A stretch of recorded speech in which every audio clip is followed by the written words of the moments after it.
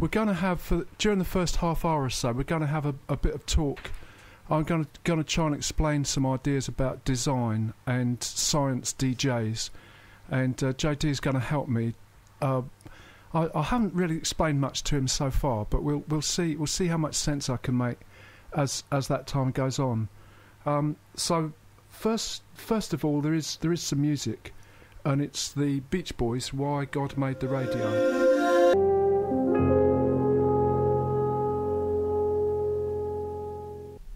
Well, JD has joined me. Good morning, JD. Good morning, Sam. Thank you for last week. I, I did hear it online in Lancaster.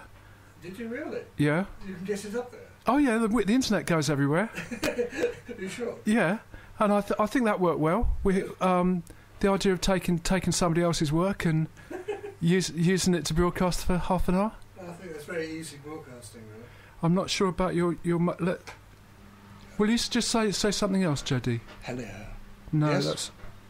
Try again. Yeah. Hello? Yes? Yes, that's it. You're Okay, that's, good. that, no, no, your mic your mic's up there. Yeah. So the, the the first the first idea I wanted to, to look at is um, the the idea of the science DJ Okay. because we we found this on on YouTube Mm-hmm. and um, anybody who's listening can, can find it as well. If you if you just search on YouTube for the the rise of the science DJ, you'll you'll find it there. Okay. Where do you want to start? Well, did you have a look? Did it make much sense when you ha- when you when you looked at first? Uh, uh, number one, yes, I had a look. yes. And number two, didn't make any sense at all. oh, I'm still. I'm trying to get the concept to see if where you're coming from for this because Right. it's rather technical for my liking. well, it um, it's technical in that it's using YouTube, but YouTube isn't necessarily that complicated. Um, the, if you can load up a video or if you can link to a video, Mm-hmm. uh, you can make you can take advantage of what YouTube offers. Right. and uh, it's getting easier to edit stuff. If if people go for Creative Commons and allow the remix to be possible, uh, right. So you're coming from a concept of putting a show together. Is this the science? Is it? This is what I gathered. well, this is yeah, this is where the science could come in. This is where where it could be relevant. I've never thought of it science. you haven't thought of No, putting a show I'm- together as science. No, I think it's a skill, Ah, an extended skill of ours, which some people have got and some people haven't. so It's, it's, like riding a bicycle. so you see it as as a skill. Yeah. So what about design? Would would design come into it? Do you do you start a show with an idea of what's going to happen? No, You don't I do that. no design whatsoever, no. and uh, it just comes off the top of my head. Oh, So that's the creatability of it. yes. I with, with my own show, which uh, people do know that I have one on another station, um, I do actually start with something which I've already created.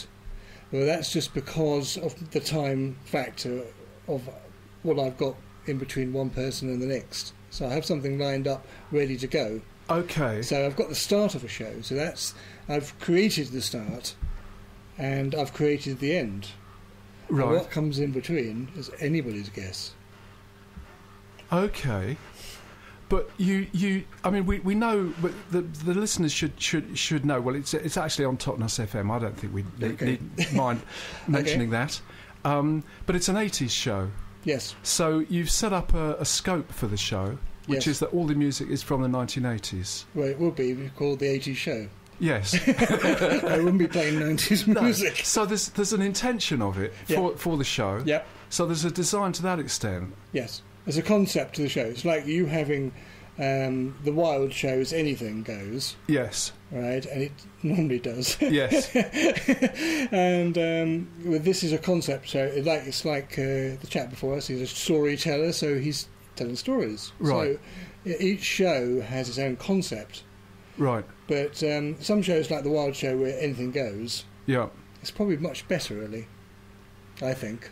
Yeah, but there's still some sort of. Well, we have a meeting after after the after the wild show, don't we? I mean, maybe we do our planning in the wrong order, but we have a coffee after the after the show. But the coffee shop's not open before, so Well, no, that's the problem. Let's go and find somewhere else. but um, one of the one of the concepts that come, is coming along is is design science, Mm-hmm. which I think uh, I'd like to know more about, Mm-hmm. and I think it is is trying to use a scientific method in design, So you, and this would only work if you if you can identify where the where the design is. yes, that's that's on trying to still And- working on is is where you've placed this thing called or you've heard about this thing called design uh, to a concept of, of a radio show. Well, do you do um, do you change your approach to the show at all based on on how you experience a particular show or what sort of feedback you get? Um, feedback, none. no, I do get feedback. Yes, I, I get some very good comments about my show, and I like those. But um, I think it's um, it's a, it's actually you, I creativity has actually come along to do it. I think it comes flows from you much better than if you come in with a playlist of ten songs and say Oh, "Ah, that's what I'm going to play in yes. between them. Yes. No, I'm not saying the design is, is got has got to be like that. Hmm. All I'm all I'm saying is that I think there is some um, there's some sort of process whereby you have an idea about the show before the show, and you do some sort of check after the show as to whether it worked or not. Yes, I always listen to myself and slap myself on the wrist if it's not quite right or it sounds horrible, you know, and do it and not do it again. So that is the probably the design thing is an after design, not a before design. Yeah, but it's in time for the next one. Yeah. Probably. Probably it probably won't be the next one. It'll probably be the next one after that or the next one after that. So it will come along again. Right. okay. now, um, I think what I'm going to do is play some more music while Yeah. while I while I um, sort out the uh, sort out the the the next um, extract because I'm I, I, I'm going to I'm going to I, I realise we're, we. Our listeners are probably expecting some music from a from a radio show, so endless talk about design theory is not not what they're um, expecting. So um, this this this one is Melissa Etheridge, uh, and I'll I'll explain why when when I've got it to play.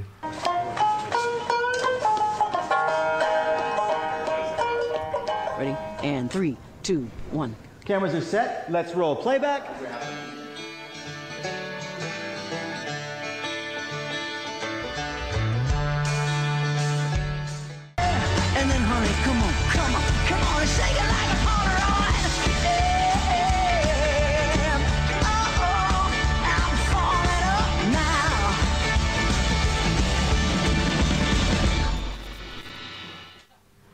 So I, I, I was interested in Melissa Etheridge because that's one of the artists that uh, Joss Stone mentions as having heard uh, some time ago, and uh, that's a that's a recent track that's that's that's been out.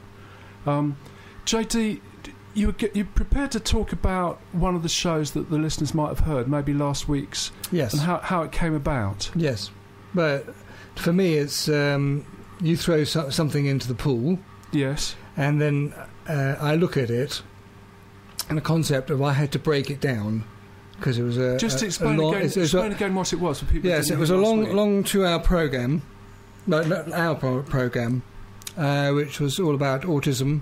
It's about the positively autistic show, which is a really good show, but they're having a, bit, a few technical di- difficulties, which I'd like to go and talk to them about. But uh, you threw that at me, and I had to catch it, and then I had to edit it down in order to, to actually make a half-hour bit. And I've never heard of it myself, but I'm I'm prepared to pay anything.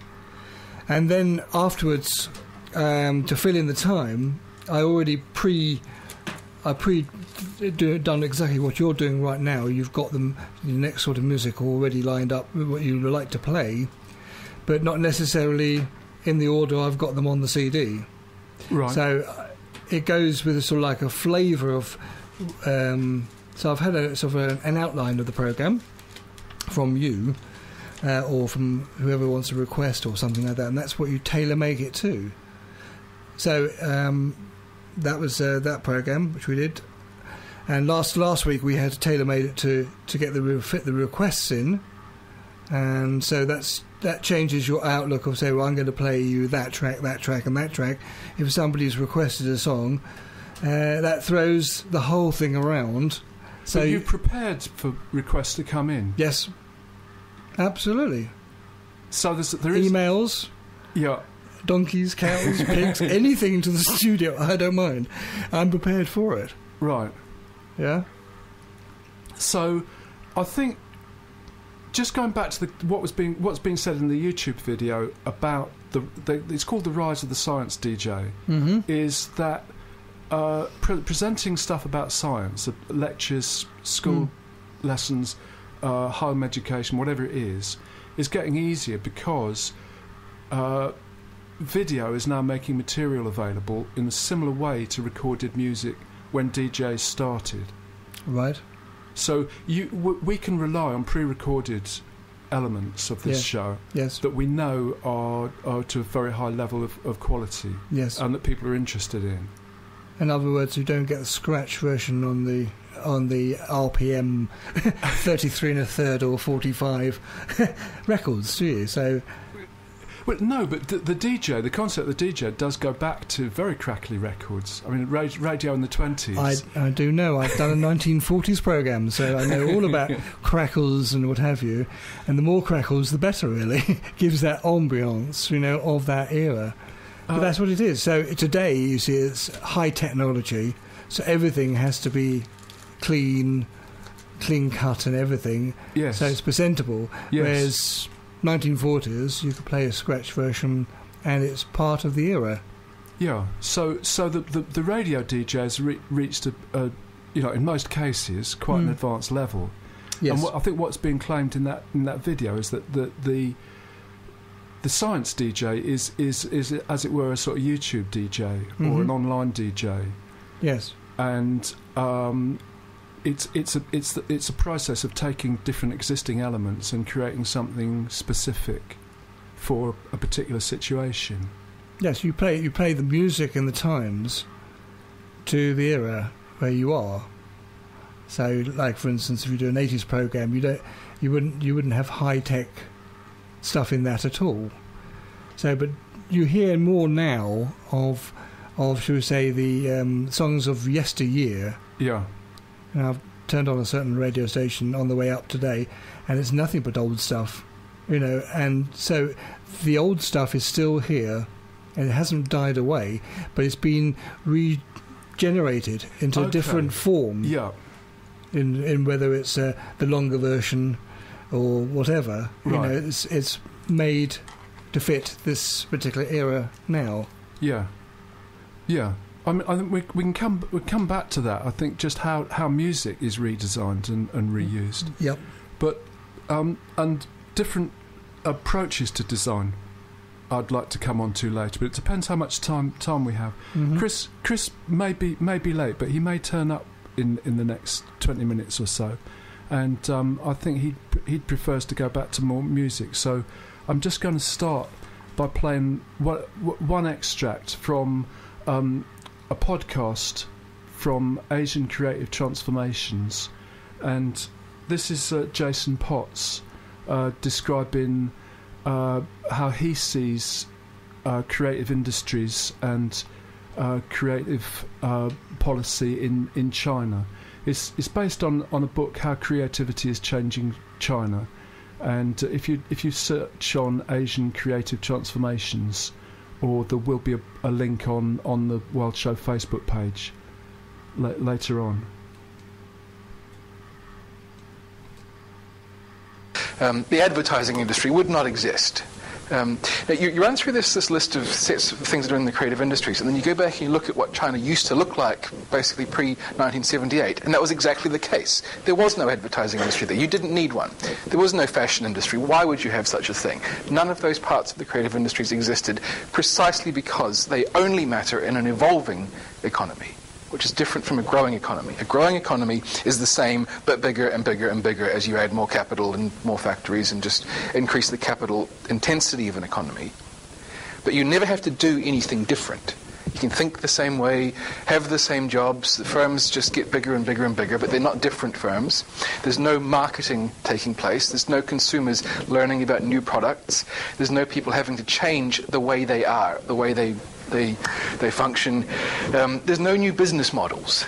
There's no there's, there's no destruction either. There's, there's no people leaving from one place and moving to another place and reinventing their lives. There's no sense of the next generation doing something completely different to the previous generation. There is no change in what people are, how they behave.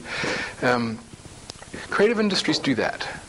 That's, that's their, their function um, in, in this sense. And the faster an economy is developing and evolving, i.e., changing from within with new industries, new ways of being, new jobs, new, new anything you can think of, new ways of looking at the world.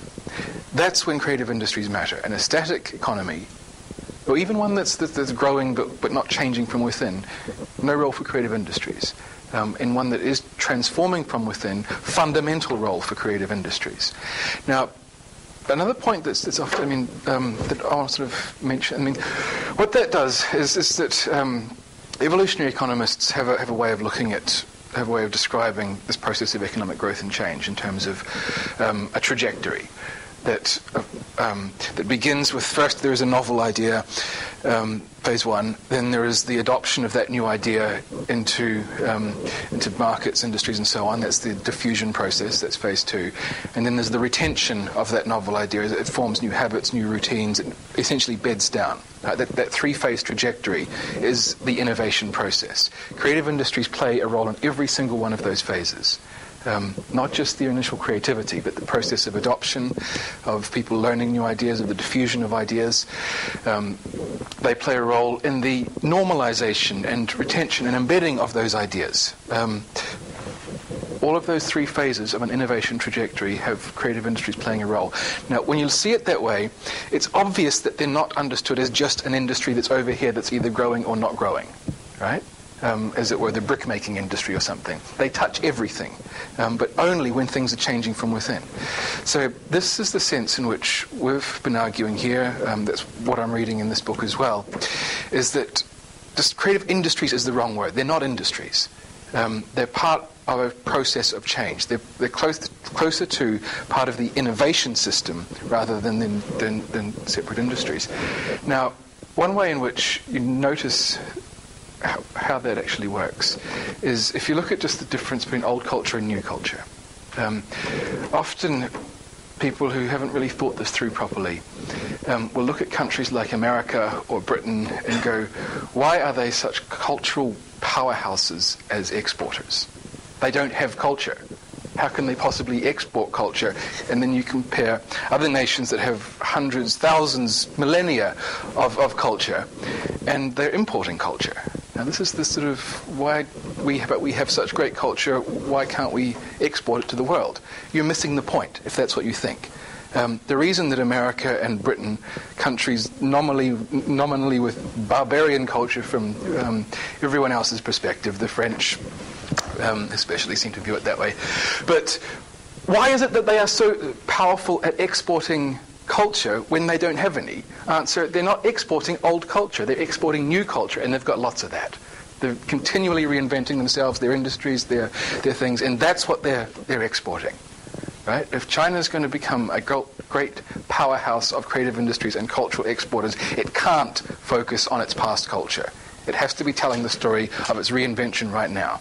Um, you see that in a lot of Korean exports. You see that in the sort of mangas, Japanese. If you look at the cultural exports, it's not a celebration of, of, of a glorious past.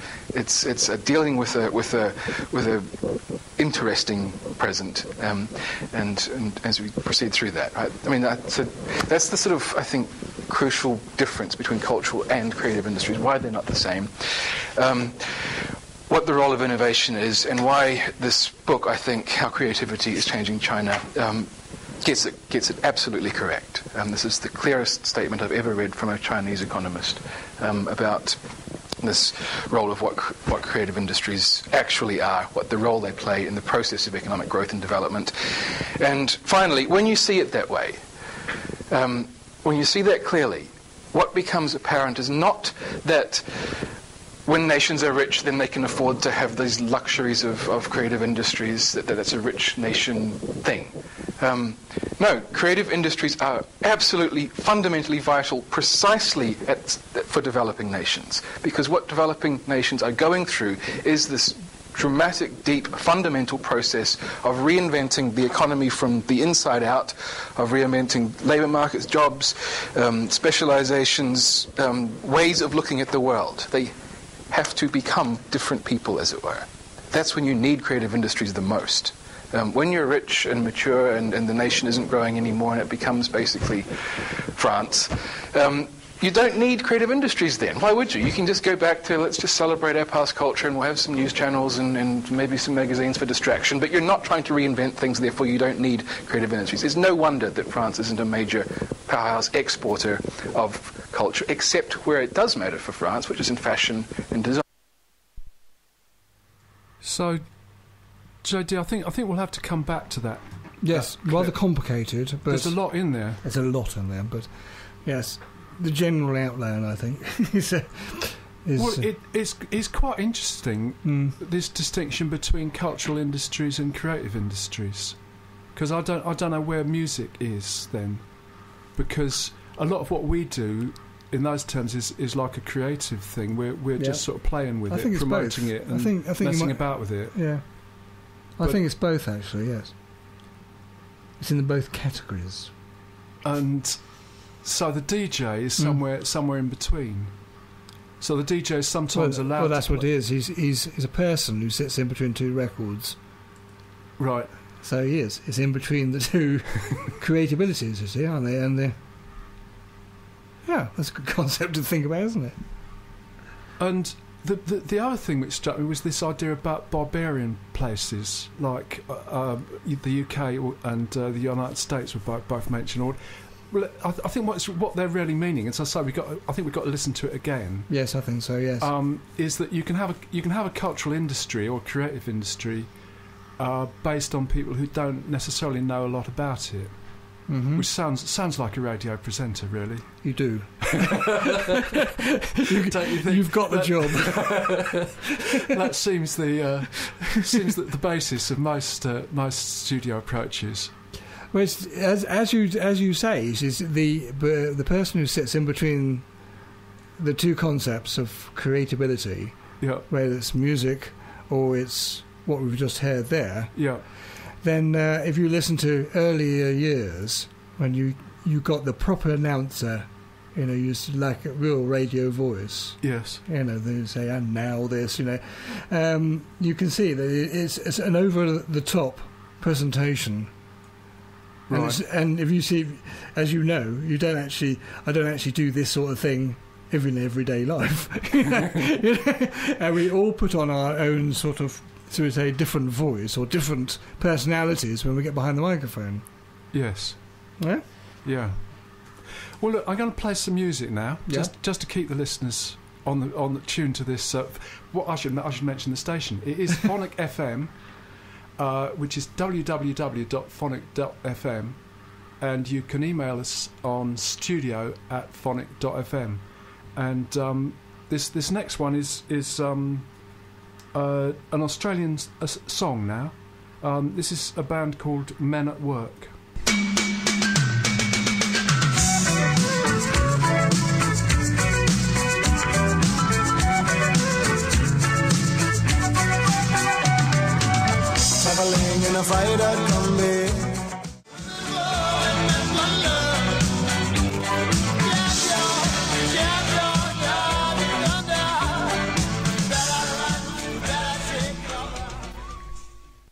Yeah, so that was a, a land a land down under, men at work. So, JD, I'm going to play one one more clip now. Yep. So we're sort we're sort of going towards this idea of of of uh, a YouTube. You, YouTube don't have sort of continuity announcers, do they? But they must have some some method of linking things. Are you going to be it? Well, we'll, ch- we'll You do a lot of co- uh, YouTube. I thought you could do. Well, the, I'm just thinking about how that how that would work. Uh, But we can take clips. We can take. Um, well, we, we we've done a half-hour sample of a one-hour program, mm-hmm. which is quite a large sample. Yeah. and now we're taking three or four minutes out of a podcast. Right, A couple. This will be the second one. right. So if we if we sort of build to build that, we can do radio programs based on. Well, the Melissa Etheridge track that came off YouTube. Mm-hmm. Um, so there's, there's there's there's just various ways of doing it that um, make up a radio show or extend a radio show.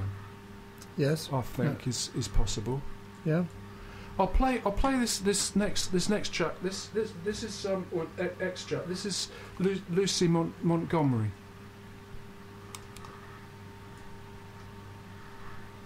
Jason um, talked about the value of the creative industries in helping countries to transform their economies, what Li Wu Wei is on about in his book, and also um, the value to the economy of the production of new culture and innovation, really, rather than just um, sort of the protection of something which has been creative and it's an invention and we'll look after it and hold on to it and try and exploit it according to a really traditional copyright industry's value chain. So that was one of the things that Jason um, pointed out that he didn't really agree with in Li Wei's book, and I have to um, agree with Jason in that actually Li Wei has adopted what is a little bit surprising for me, which is a really standard and uncritical view of the role of intellectual property in the creative economy. So, really, the definition of the creative industries that he's adopted when he talks about um, intellectual property is a copyright industries definition. So he sees the value chain in the creative industries where he sort of discusses the role of intellectual property as being um, creativity at this end and it's a value chain. And then uh, we have some sort of industrial process and investment that adds value to that. And actually, if we have intellectual property to help us to protect our, our creative invention or our creative work, then we can turn creativity into some sort of economic output. Um, basically, I think that there can be no doubt that intellectual property is really valuable, and obviously it allows for certain kinds of trades and certain kinds of firms to perform very well in a global economy. But actually, you know, it's a system that's under pressure, it's facing um, real challenges that have been brought about by new technologies. And the new technologies aren't just changing and disrupting old copyright industry business models, they're also creating huge opportunities for uh, distributed innovation and new ways of solving problems and working out creative solutions to the challenges that consumers are facing every day. And that's potentially very, very powerful economically and institutionally. So, one of the um, examples we might talk about in the discussion is Shang Ren's work, where he's looking at um, the academic publishing industry and processes by which scholars are thinking about how they can design better tools uh, which allow for peer referencing and new ways of using content and applying content to the work that they want to keep doing. And one of the biggest challenges for that process of distributed innovation, where lots of people are thinking, oh, wouldn't it be good if we had a great new tool that could solve this particular problem, is that most of the content that they want to access is proprietary content. It's content that at the moment you have to pay a copyright owner for, you have to go through processes of gaining permission and all sorts of things, which really um, turn innovators into pirates. And actually, um, that has. yeah, that has really important consequences for processes of innovation across the economy and across the population. Um, so, just to reiterate, um, I think Li Wu Wei's book is tremendously interesting, and um, my point is that actually I think it's a, it's a, in relation to intellectual property and thinking about processes of innovation across the economy, it's the beginning rather than the end of the story. And I really um, look forward to reading more discussion and more debate around the role that intellectual property plays in China's really rapidly developing creative economy. So again, JD, I think we're going to have to think about that one and come come back to it. Yes, things to ponder over. Yes, but it, it, it, it it's in, it's interesting to me the the comparison uh, with academic publishing and how music is at the moment. mm-hmm. Because I, I guess that the the content of academic ideas is going to get more distributed as time goes on, and through different media. So there, there will be more podcasts and there will be more on YouTube, so forth. Mm-hmm. and um, this distinction between copyright industries and creative industries. That's that's very interesting. Okay, well that's a, another concept to go the road to go down, isn't it? Really? Yeah, Yes. yeah. Okay. Because have you have you found that there's been a, a change in, in music that what record companies or musicians will allow you to do with music over over the last five years? So Oh, since the internet was born, uh, the music side of the internet, this is not the internet as a whole, right, but you're allowed to do a lot more, you know, to gain access to things than you ever were before.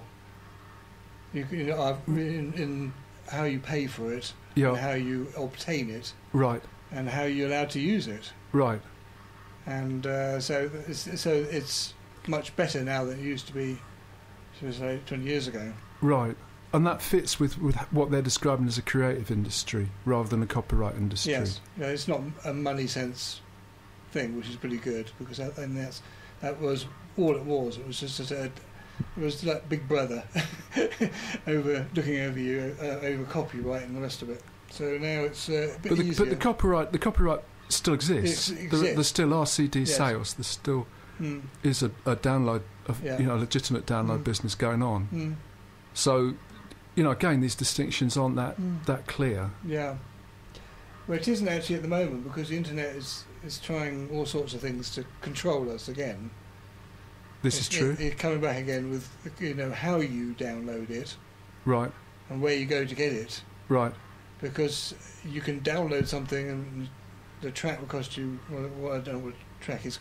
I've never down and never bought one off the internet before, but um, it cost you that much. But you do uh, do a search and you you'll find a, a download thing which is totally free.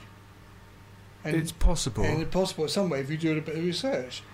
There's somebody you know somebody's gone gone round the copyright for some. I don't know how they have, but there are out There, there. there are ways. There are ways of doing it.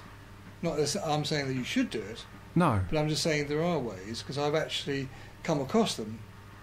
right. Oh yeah, they do. They Mm. do exist. Yeah. But I think all these all these things are coexisting at the moment, and um, I, I I think academic publishing is is one area where there's going to be more debates coming along, and l- looking back at how music operates Mm-hmm. is going to be quite relevant Mm-hmm. in that in that situation. Well, JD, I'm going to, I'm going to start playing a bit more music now because I think I think Chris will be here, but I've already gone about a quarter of an hour over over the time I was uh, okay. I was expecting. So, So- where, where are we leaving this at the moment? Should, Well- should we leave it in a in a form of uh, continue next time, or I, well, we might come back. There's, there's- there's Mm. one more thing I'd, I'd like to talk about, depend, depending on, on time. But I think we should play some music now, but just a little bit more about design. Okay? Um, is because you'll see I put some some bits of paper on the four walls and the f- yes, ceiling I've been, and I've been reading them, um, especially the one to my left. Which very, which is the one um, that interests you. uh, the one which says a big box which says sensibility, Sensibility. and that's definitely not me. That's not you. so you're you're on the analytical side. You're more on the There's a- there's the rational side. the I? rational side. Sorry, okay, yes. So well, you have to explain what they are later Well, on. shall we play some music Yes, and then then we'll, we'll come back to we'll it. do that. Yeah. And um, what I'm going what I'm going to play